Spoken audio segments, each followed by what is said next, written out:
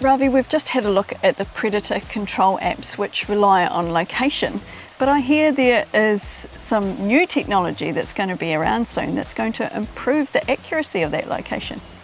Yeah, so um, currently our field apps, both Quick Capture and ArcGIS are field maps. You've got a 5 to 10 meter accuracy, so your mobile devices get connected to the satellites and yeah, accuracy depends on that. In future, let's say in two to three years time, um, Land Information New Zealand, Toitū Te Whenua, um, and Geoscience Australia, we're working together and this accuracy is going to be um, less than a meter. And the project's name is called Satellite-Based Augmentation System. Wow, so that's really just souping up the system. Um, you talk about that difference in measurement. Can we see that in reality, what a difference sure. that would make? Okay. okay, let's go five meters.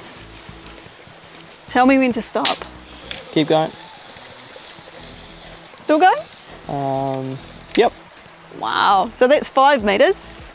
And compared to a meter? Yep, keep going. Uh, yeah, about there.